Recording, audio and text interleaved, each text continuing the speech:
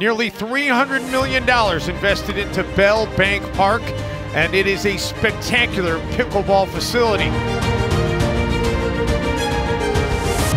It's expected next year that that prize money pool will be north of $2 million. It continues to grow as more and more sponsors come on board.